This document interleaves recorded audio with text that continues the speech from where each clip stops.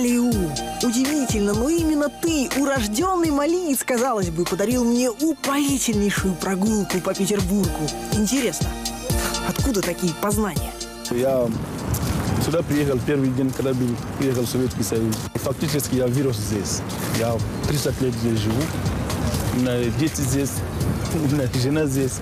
Получается, ну, как родной, родной город. Санкт-Петербург и вправду как родной для нескольких тысяч африканцев, живущих в нем.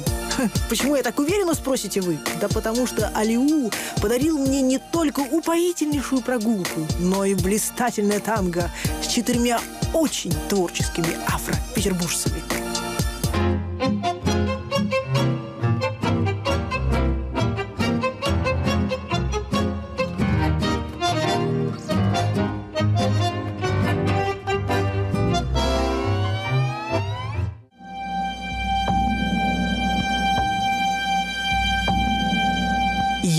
Помню чудное мгновение. Передо мной явилась ты. Запело что-то внутри при виде этих неземных созданий, словно плывущих по Невскому. В России большой процент красивых девушек, как я должен пройти мимо. И он не прошел. Он остановился для того, чтобы всмотреться в эту правильную, строгую, но такую холодную, на его взгляд, красоту.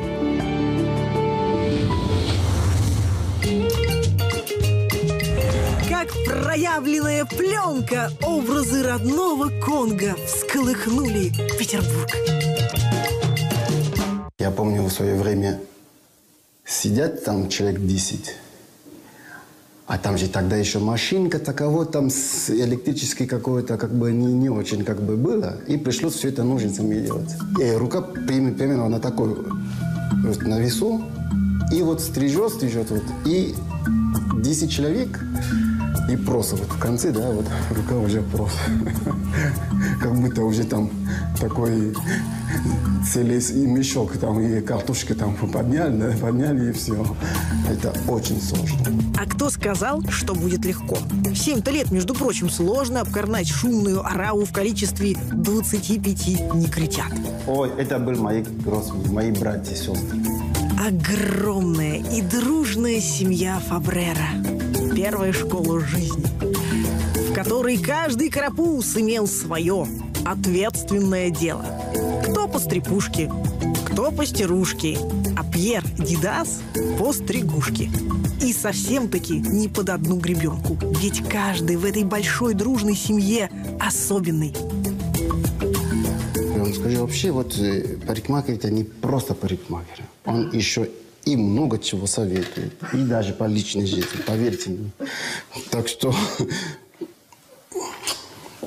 только единственное, вот только замечаем, когда только личная жизнь брахлит, тут же бегут к нам, тут же все меняют имидж. Вот как только сядет такой потерянный клиент в кресло, надо просто представить, что перед тобой кто-то из любимых сестренок.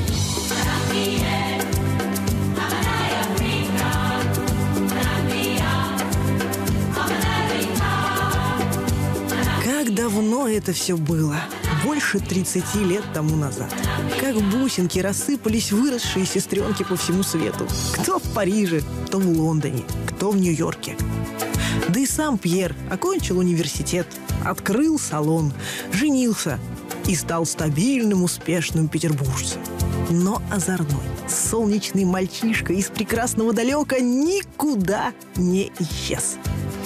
И он в каждой белолицей северной незнакомке обязательно найдет что-нибудь особенное.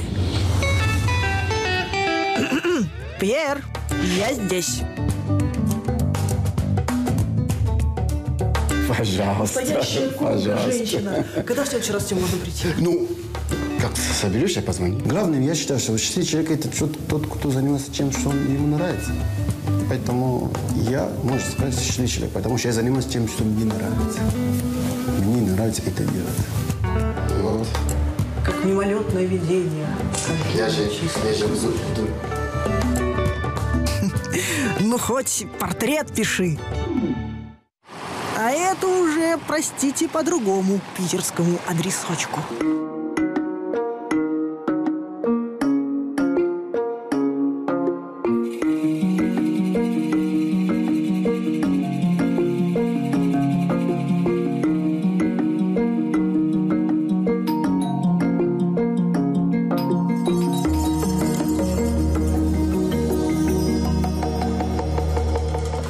Здрасте. Э, Крестов Жан-Мишель? Да, Э, Нарисуйте меня, пожалуйста.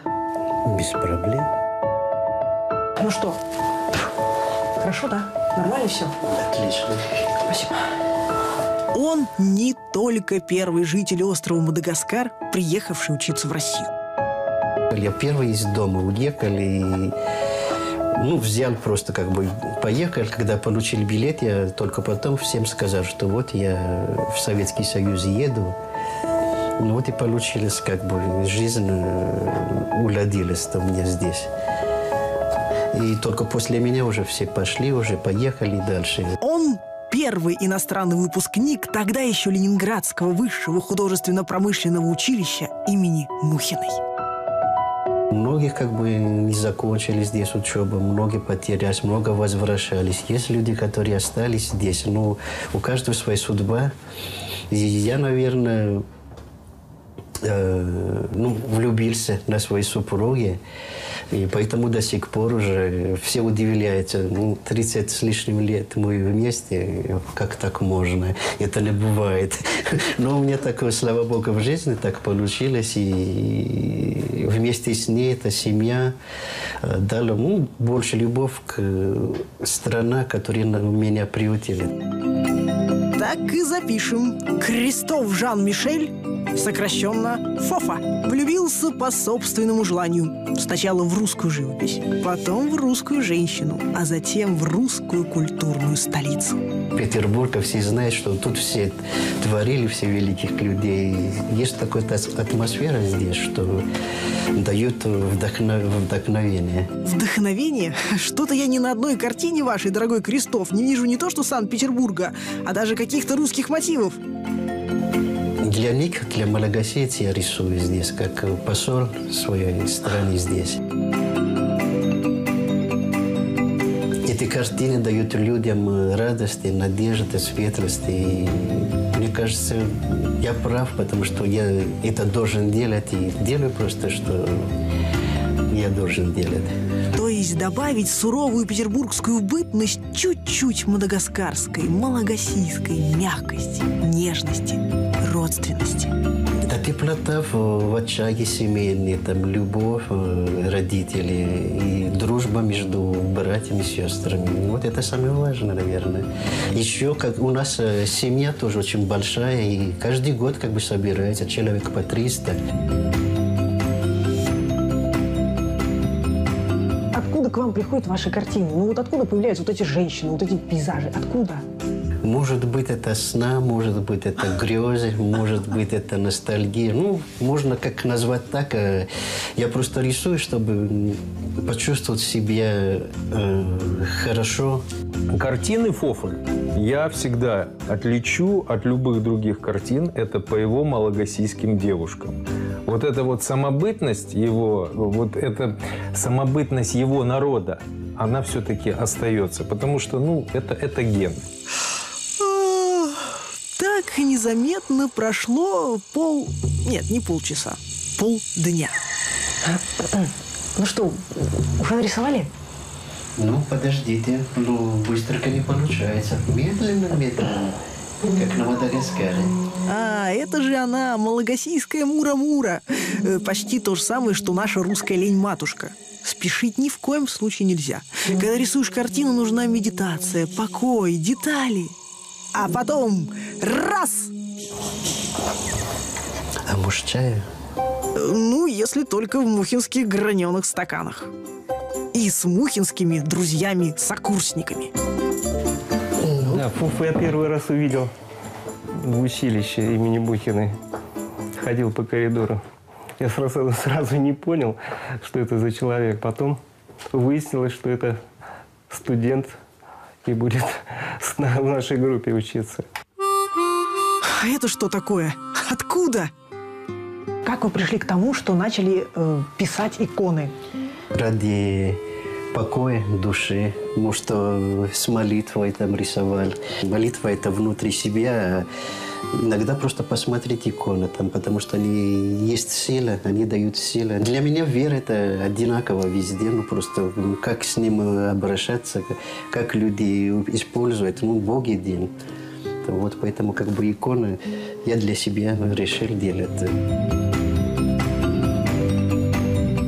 Несмотря на то, что Фуфа говорит на малагасийском, французском, русском, английском, в общем-то, я его считаю э, русским. Вряд ли э, можно оставаться малагасийцем, прожив 20 лет на Петроградской стороне в коммунальной квартире, будучи э, женатым на э, русской женщине, испив русских напитков, закусив их, закусив их, да, русским салом, я думаю, что Фуфа уже давно русский. Просто он темного цвета.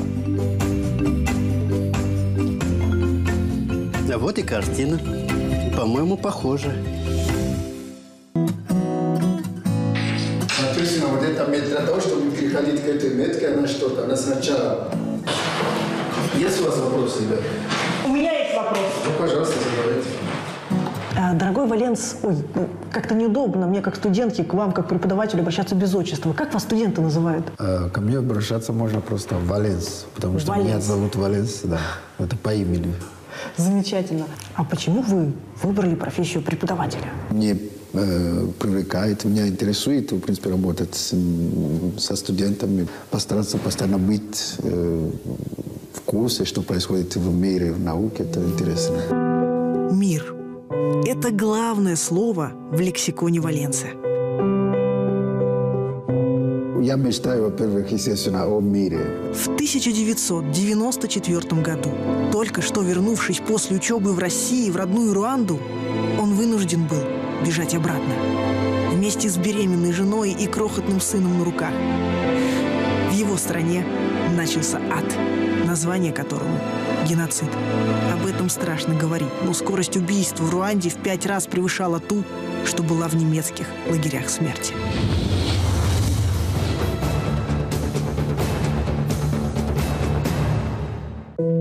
О том, что пришлось пережить, Валенса не рассказывает.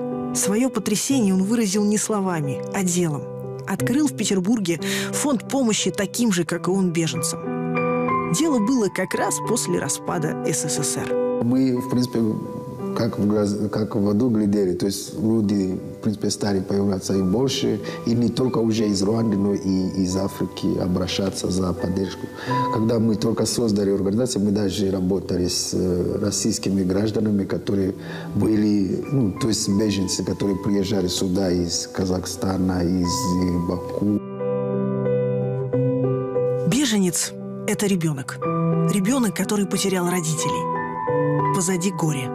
Впереди неизвестность. Раньше, чем кровь, еду и одежду, ему надо дать руку, чтобы он почувствовал новую точку опоры. И это важное ощущение человек обязательно пронесет с собой через всю свою жизнь. Есть, которые вспоминают туда и спрашивают. Кто-то хотят даже поддержать. К великой радости Валенции число беженцев в России постепенно сокращается, а вот число студентов неизменно растет. Сейчас он все больше преподает языки. Язык программирования и свой родной – кинья-руанда. Но на любом языке мира главное слово для Валенции остается неизменным. Телевизию, э, Я хочу пожелать вам мира и еще раз мира.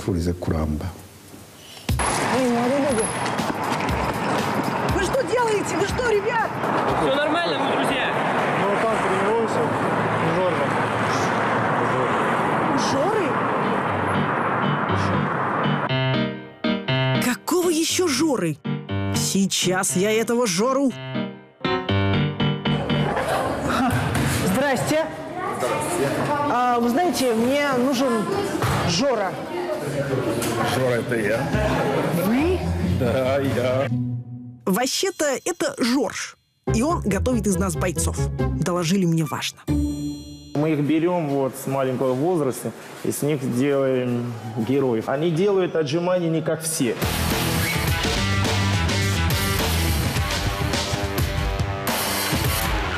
Мои методы такие, что они делают отжимания всегда на полу. Кисть поставить на полу, да, это пол, вы можете твердить, что это твердый пол, и вперед прыгать на кистях, в сторону, на кистях, вперед. Это они делают такие упражнения, они все это сделают сейчас.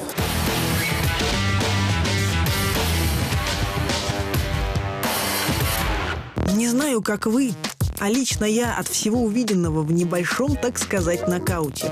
Надо срочно разобраться, кто такой этот Жорж Нунга. Привет, Саня. Миша, Них, скажи, а почему ты сюда ходишь? чтобы в школе можно было отбор дать. А тебе нравится? Ну да. А преподаватель Жорж, что о нем сказать можешь? Силой. Сильный? Строгий? Ну да. но при этом справедливый. Миха уважаю. В три года он уже боксировал. В пять лет тайком от родителей пошел на каратэ-до. А когда подрос, так достал соседей китайцев, что тем пришлось стать его наставниками по кунг-фу. Ну что же, сам напросился. Учитель меня встречал на дороге, а я гулял, я просто гулял с друзьями. Он мне говорит, на тебе вот 100 франков, иди купи мне вот это туда, почти в другом конце, но в другом квартале.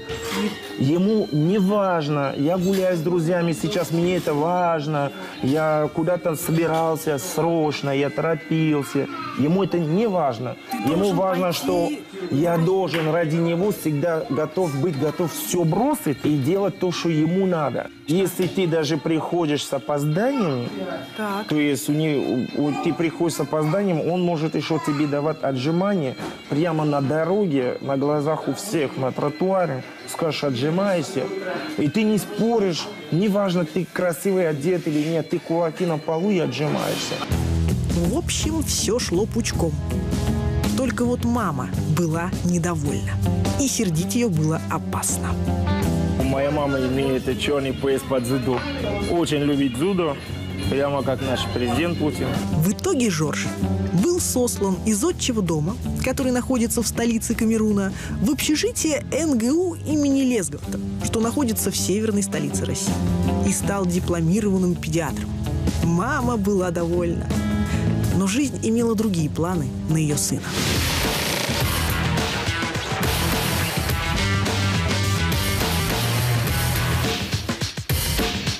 Один из темных питерских вечеров на Жоржа напало несколько вооруженных человек. Он вспомнил все, чтобы выжить. И на следующий день решил вернуться. Не в Камерун, в спорт. Не бойцом, наставником. Я понял с временем, но не сразу. Я, может, так сколько, 10 лет, по-моему, прошло потом. Как только понял, э, ну, с чему это связано. И это просто связано с духом и телом. Сомнений нет. Жорж выжил благодаря особому состоянию, которое пришло к нему после долгих занятий кунг-фу. Меня тренировали все-таки китайцы 10 лет. И я прошел эти 10 лет э, очень тяжелые тренировки. Не настолько тяжелые, настолько глубокие, потому что она начиналась с медитации, заканчивалась с медитацией. Если неуязвимости можно научиться, значит, можно помочь и тем, кому сложнее всего постоять за себя, дать им веру в себя и в свои возможности, дать им шанс. Жош учит э, не сдаваться никогда даже в самых критичных, ситуациях, себя идти до конца. В общем-то, из-за этого, наверное, ребята здесь добиваются больших успехов. А ты сам чего хочешь от этих занятий, от Джорджа? Наверное, победить самое главное себя, свою лень. Почти все ученики Жоры – победители самых престижных соревнований самых разных уровней, от районных до международных. Них есть и особые ребята. Ты не такой, как все. К сожалению, ты никогда не сможешь быстро бегать, быстро двигаться, быстро реагировать, говорили Руслану врачи. Да, ты не такой, как все. Ты лучше, потому что ты победитель. Ответил на это Жорж. И оказался прав. Но Руслан – это наш герой, мой герой. Вот. но там занимается Руслан. Это именно, как сказать, Руслан это все, что я всю жизнь, о чем я мечтал. То есть э, я мечтал, когда действительно именно человек, которому всем полагается думающий, слабый, действительно покажется самый сильный. Все могли думать, что такой человек, он не как все, а я считал и ему внушал, что он абсолютно как все. И он ничем не хуже всех. Поэтому я его и вытащил на соревнования. Он бился среди равных, то есть даже не равных, потому что он бился с обычными спортсменами на соревновании, несмотря на то, что у него есть минус, но он поднял этот минус, и даже у него первое место он выиграл. Это и есть моя философия. Делать слабых, где самый сильный. Когда он смотрит на своих чемпионов, его лицо озаряет гордая и сказочно добродушная, почти богатырская улыбка. Для меня они балбесы, пока они тренируются. Когда они выиграют, они молодцы. Через них он полюбил эту страну, остался в ней жить, родил трех сыновей, построил дом и стал преподавателем в молодежном центре. Я считаю, что да, действительно, здесь у меня душа остается и, и лежит, потому что меня, в принципе, меня все держит здесь. Три года ходим, мы даже р- очень рады. Вот я говорю, это человек от Бога. Вот очень мало таких тренеров, как Джош. И мы, когда привели, мы были очень рады. Даже все родители были очень рады, что нам такой тренер достался. А что надо делать? И сколько должно пройти времени, чтобы все получилось? Но я думаю, что если не ждать, тогда времени не пройдет, даже не макнем. А если ждать, тогда долго.